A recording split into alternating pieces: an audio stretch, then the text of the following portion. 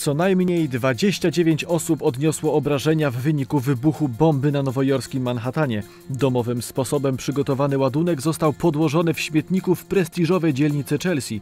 Podczas akcji przeszukiwania miejsca eksplozji policja natrafiła na drugi ładunek wybuchowy.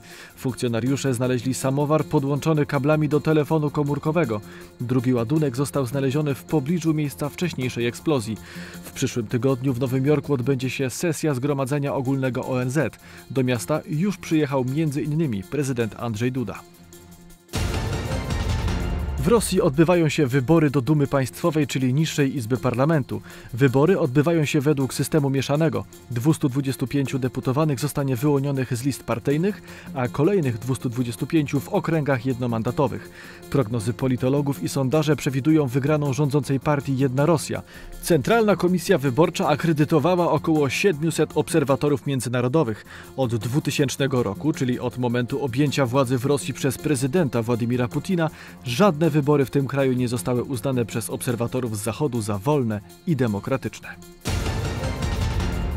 Policja wybrała swoje motto. Spośród 4,5 tysiąca nadesłanych propozycji komisji konkursowej najbardziej spodobało się hasło Pomagamy i chronimy.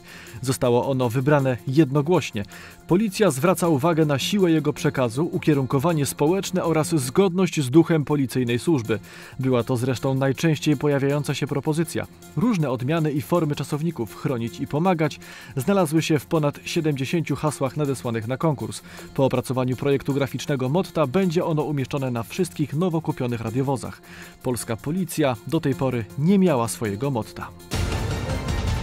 W okolicach Grunwaldu zakończyły się badania mające pomóc w dokładnym zlokalizowaniu miejsca, w którym w 1410 roku znajdował się obóz krzyżacki.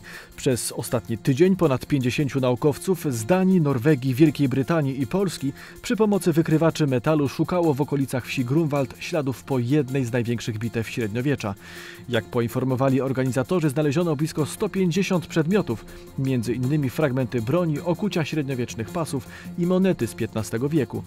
Zakrojone na szeroką skalę międzynarodowe badania z udziałem archeologów z wielu krajów odbywają się pod Grunwaldem od 2014 roku. Tegoroczne objęły powierzchnię około 100 hektarów. Prace będą kontynuowane w kolejnych sezonach.